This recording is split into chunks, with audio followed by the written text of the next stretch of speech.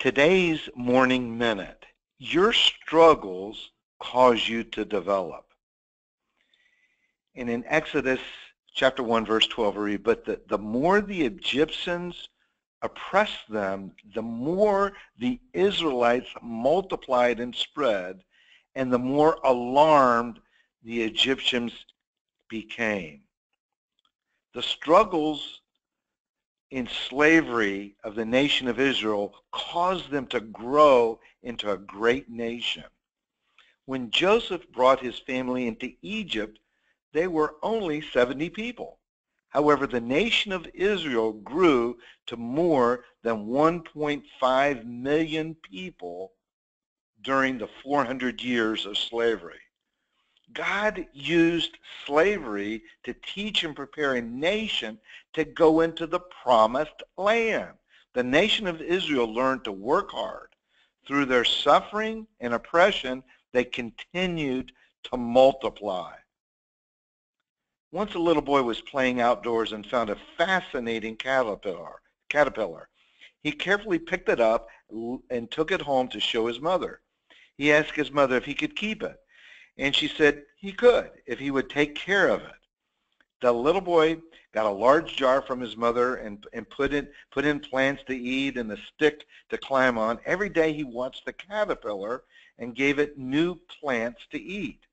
One day the caterpillar climbed up the stick and started acting strangely.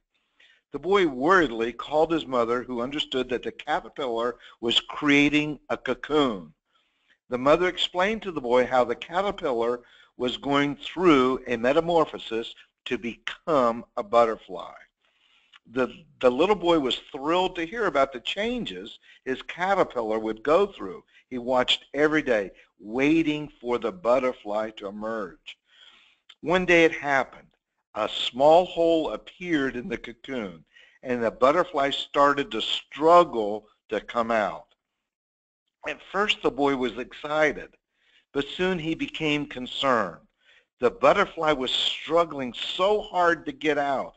It looked like it couldn't break free. It looked desperate. It looked like he was making no progress. The boy was so concerned he decided to help. He got he got some scissors, snipped the cocoon, and made the hole bigger, and the butterfly quickly emerged. As the butterfly came out, the boy was surprised.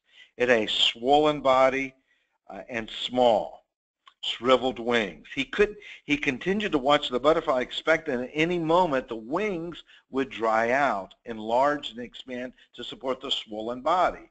He thought that in time the body would shrink and the butterfly's wings would expand. But neither happened. The butterfly spent the rest of its life crawling around with a swollen body and shriveled wings. The butterfly never was able to fly. As the boy tried to figure out what had gone wrong, his mother took him uh, to talk to a scientist about at the local college. He learned that the butterfly was supposed to struggle. In fact, a butterfly's struggle to push its way through the tiny opening of the cocoon pushes the fluid out of its body into the wings. Without the struggle, the butterfly would never, ever fly.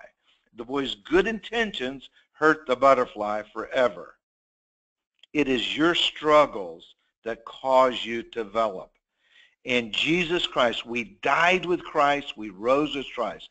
And the sufferings that we went through is all for the glory of God that he rose from the dead and we have life in Jesus Christ. He made us the righteousness of God in Christ Jesus. Walk in that victory that you have overcome the struggles in Christ Jesus in this life. Amen and amen.